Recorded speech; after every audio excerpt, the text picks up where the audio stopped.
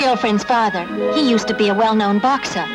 But he and my father had a big quarrel. Now they aren't speaking. In that case, he's not too likely to help. What?